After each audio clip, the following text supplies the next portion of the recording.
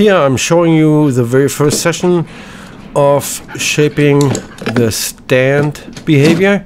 I'm using an elevation, in the case here, a training box and click for any orientation toward the box, preferably as we see, of course, putting her feet, her front feet on it. She can put one or two, it doesn't matter, it's the very first session.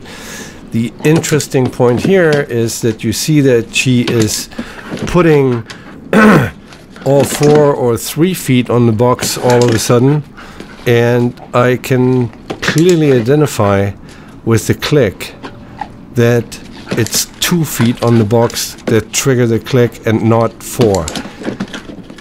So she puts her hind end on the box after the click, which I click as soon as the front feet are on the box.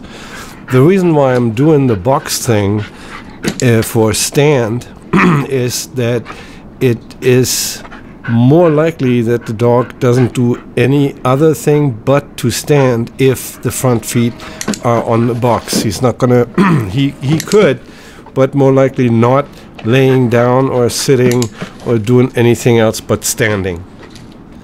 So it's like a training prompt. And again, you see that the click is capturing the front feet on the box, even though she is really quick. But uh, yeah, you're gonna have some skills to do that to begin with. With that dog, who is super lightning fast, of course it requires a little more skill.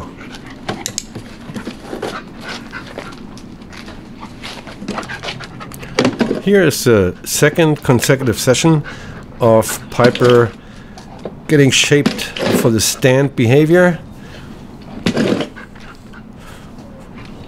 Front feet were on the box and I clicked a couple times and then all of a sudden she started just doing a touch and go.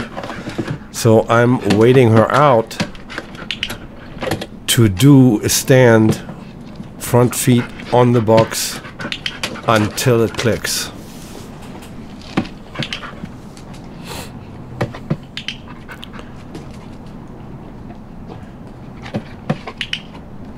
That happens sometimes if you there you go.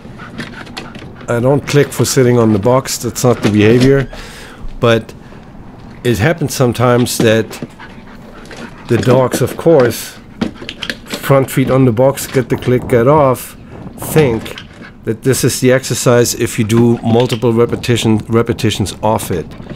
So here I'm waiting I'm trying to wait a little longer there.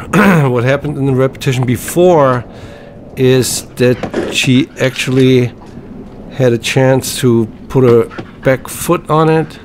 Now she's trying to do something else, which is laying down. I show her that this doesn't work, and sure as hell, I clicked right when she kind of bow, bowed down for going into a down, but it didn't hurt me in the process. There. Two feet on the box, standing still, it clicks.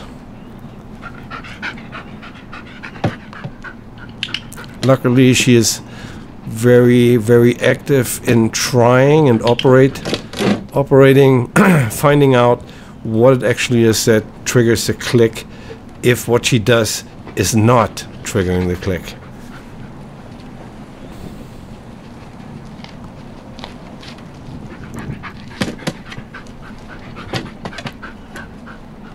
See, getting on and getting off right away didn't work.